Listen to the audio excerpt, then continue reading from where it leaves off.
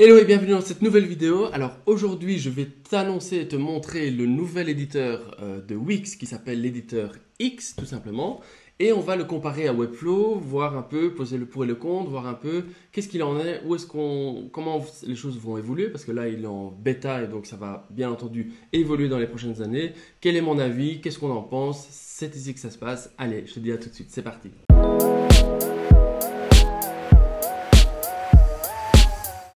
Hello, moi c'est Kevin et donc aujourd'hui je vais t'expliquer te montrer eh bien l'éditeur X de euh, Wix avec un exemple que j'ai recréé sur euh, Webflow pour qu'on puisse comparer exactement les différences. On va regarder ça en détail ensemble tout de suite. N'hésite pas à t'abonner, appuie sur la petite cloche comme ça tu es notifié dès que j'envoie une nouvelle vidéo et puis euh, sans plus tarder on va commencer la petite présentation. C'est parti. Alors donc ce qu'on va faire, c'est que j'ai, on va créer un nouveau projet euh, Wix ensemble, donc avec le nouvel éditeur euh, X. On va prendre un template juste pour euh, jouer et chipoter un peu plus rapidement là-dessus, parce que tu verras que Wix, ça reste quand même un outil super simple, c'est très glissé-déposé, donc il n'y a pas vraiment de règles, tu fais un peu ce que tu veux. C'est un peu comme un Figma, Adobe XD ou, je ne vais pas dire Photoshop, mais Sketch. Euh, et donc, du coup, euh, c'est vrai que c'est facile, mais il y a des inconvénients parce que tu n'as pas la main sur tout, euh, tandis que sur Webflow, tu as la main sur tout, c'est un peu plus compliqué, donc il faut choisir. Mais donc, je vais te montrer un peu la différence d'un site et le rendu d'un site Wix et avec l'éditeur X. Et puis, j'ai refait le même sur, en tout cas, une partie, la première partie, sur Webflow avec un petit effet qui est qui n'est pas, pas faisable en fait sur Wix. Et donc, tu verras que en fait, il y a quand même pas mal de limitations dans, dans, Wix, donc ça reste encore un peu en retard par rapport à, une plateforme Webflow qui est plus professionnelle et selon moi un peu plus avancée. Alors petite euh, info à savoir, c'est que Wix est quand même présent sur le marché depuis 15 ans, euh, c'est israélien, c'est surtout axé sur les entrepreneurs, donc euh, l'entrepreneur qui crée sa nouvelle boîte va pouvoir utiliser Wix pour créer son premier site internet lui-même, pouvoir gérer un peu toutes ses pages. Et puis Wix propose aujourd'hui aussi tout un écosystème qui est quand même pas mal foutu. Euh, j'avoue que c'est une plateforme qui est ultra complète, ultra facile à prendre en main. Donc effectivement, pour Monsieur Tout le Monde, c'est la plateforme idéale pour créer un site internet de manière sécurisée et puis euh, on va dire de manière sur mesure parce que tu peux vraiment faire ce que tu veux. Euh, à côté de ça, bien, entendu, moi je suis un fan de Webflow. Alors euh, je ne vais pas euh, m'étaler là-dessus parce que j'en dis que du bon, je sais, sur mes autres vidéos. Mais donc ce que je veux dire ici, c'est que Wix a quand même une certaine, a bien avancé et j'ai hâte de voir la suite dans les années parce que ben, le no-code, les plateformes, tout ça, c'est bien sûr en vogue et c'est quelque chose qui va évoluer énormément. Mais donc, Wix, qu'est-ce qu'il en est aujourd'hui avec ce nouvel éditeur X? Et euh, qu'est-ce qui n'est pas possible et qu'est-ce qu'on peut faire par contre sur Webflow? On va voir ça ensemble tout de suite, c'est parti. Alors j'ai euh, créé, donc on va créer ensemble un nouveau projet, euh, ici sur, avec le nouvel éditeur X de Wix, donc on va aller sur éditeur X. Voilà, il est en bêta, donc on peut, enfin tu peux y accéder déjà, il faut juste être prévenu qu'il y a peut-être des bugs, mais j'en ai pas vu pour les quelques tests que j'ai effectués euh, là aujourd'hui. Euh, donc, tu as le choix donc de euh, créer un site soit sur l'éditeur X, soit sur Wix. Et donc, je vais, on va choisir éditeur X. Et là, tu peux choisir des thèmes. Donc, eux, leur force, comme je te le disais, c'est de rendre ça super simple. moi, ce que j'aimerais bien voir quand même, c'est un peu plus la manière sur mesure. Donc, tu peux prendre une page blanche, démarrer d'une page blanche. Mais donc, aujourd'hui, l'exemple que j'ai reproduit, sur euh, Webflow, il se trouve un peu plus bas. On va aller le chercher. Euh, alors, ici. Voilà. C'est celui-ci que j'ai choisi. Donc, on va aller le voir et on va aller directement euh, le créer. Alors, c'est très facile à, prendre en main, très facile à mettre en ligne. Tu verras qu'en un clic, le site est en ligne et tu peux partager le lien. Donc, ça, ça ressemble un peu à Webflow. mais euh, donc voilà, tu vois, tu cliques Publish, hop, c'est parti, tu peux faire gratuitement. Là, rien de nouveau. Voilà, dès que c'est fait, tu as un petit lien que tu peux utiliser, que tu peux déjà partager. Et puis voilà, tu peux aller voir ce que donne ton site. Donc voilà à quoi ressemble le site en prenant le thème euh, qu'on m'a proposé. Donc voilà, hop. Et puis, donc voilà, il est, il est, assez complet, donc c'est toute une page, assez simple, mais pas mal faite. Et j'aimais bien les couleurs, c'est pour ça que je l'ai choisi.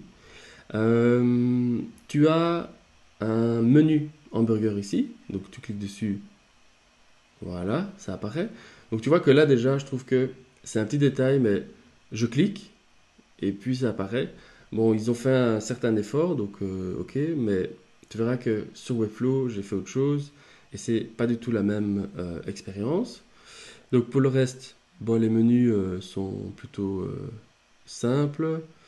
Alors bien entendu, tu peux ajouter des effets. Donc si je veux ajouter un effet sur cet élément-ci, donc comme tu peux remarquer ici à droite, c'est un peu comme Webflow. Donc Webflow, je vais prendre mon projet ici également côte à côte, comme ça on peut vraiment euh, analyser ça.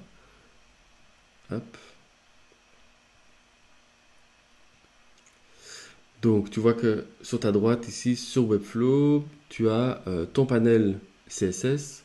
Donc comme tu peux le voir sur Wix, on a aussi cette barre à droite qui est là, où tu as un certain nombre d'options qui ressemblent, comme tu peux le voir ici, à, à Webflow. Donc il y a des options qui sont là. Après, c'est des petits détails, mais par exemple, pour en position, tu peux choisir la position. Donc là, je prends mon élément, je le mets où je veux. Donc, comme tu peux le voir, c'est un peu comme un, Figma. Tu fais vraiment ce que tu veux avec. Euh, alors que sur Webflow, c'est pas du tout comme ça. Webflow, l'élément est là, mais si je fais comme ça, ça bouge pas. Euh, je vais lui donner euh, une certaine propriété. Je vais lui dire d'aller à X pixels à gauche. Ou, enfin, tu vois que c'est beaucoup plus, précis. C'est déjà une grosse, grosse différence. Mais ce que je voulais te montrer, c'est que si tu veux mettre un effet, voilà, tu as des effets plutôt basiques. Euh, hop. Hop. Ouais, ça bug un peu. Bon, c'est peut-être parce que c'est la bêta. Bref, ce que je voulais te montrer, c'est que, voilà, par exemple, pour ce, menu, euh, tu as l'option ici d'aller voir euh, comment est décortiqué ton site, mais tu vois, ça reste quand même très enfantin, très euh, adapté en fait à Monsieur Tout le Monde. Donc ils gardent leur leur idée de base. Oui, c'est fait pour Monsieur Tout le Monde, mais avec un éditeur X, ils essayent peut-être de faire des effets un peu plus pro. Alors voilà le rendu Wix. Hop. Ah voilà, maintenant j'ai les fait en fait. Donc si je veux aller sur Voilà, on va aller le voir. Voilà l'accueil, le menu. Et ce que j'ai fait sur Webflow, c'est ceci. Donc j'ai repris les, couleurs, le logo et tout. Mais ici, rien que le menu, euh, voilà, quand je clique, voilà, c'est fluide, c'est plus dynamique, plus, plus pro. Enfin, tu me diras ce que tu en penses dans les commentaires. Mais moi, je trouve que c'est assez flagrant. Euh, ici, voilà, je, survole mon bouton, c'est propre, il y a, y a un petit, euh, une ombre de portée en dessous. Enfin voilà, c'est, on peut pas, voilà, tu vois un peu la différence. Je trouve que c'est grossier, c'est sympa, c'est pas mal fait. Il y a, y a pas mal de choses à faire. Moi, je, j'ai travaillé sur Wix auparavant et je dois dire que c'était facile, c'était très facile. Et là, ils ont apporté des, des options qui, ont, qui pourraient être comparables à, un logiciel pro. Euh, euh, mais voilà, ça reste quand même très très euh, limité. Tu n'as pas toutes les options qu'il y a dans, dans Webflow. Après voilà, moi je trouve qu'ils ont fait quand même un beau pas en avant. C'est intéressant d'avoir des concurrents. J'ai hâte de voir de, comment ça se passe d'ailleurs avec plein d'autres euh, builders qu'il y aura. Euh, parce que Webflow n'est pas le seul. Wix est là depuis 15 ans. Euh, et puis il y en a des nouveaux qui vont arriver évidemment. Le but bien entendu de ces outils, c'est surtout d'avoir un outil pro euh, tout en gardant une certaine liberté. Donc avec Webflow, bien entendu, comme tu le sais, tu peux exporter le code, tu peux faire un peu, tu peux faire des choses qui sont plus pro, mais tu restes sur une plateforme. Sur Wix, ça reste très fermé, c'est un écosystème bien spécifique. Euh, ça marche très bien aussi, ça reste du no-code. Euh, why not?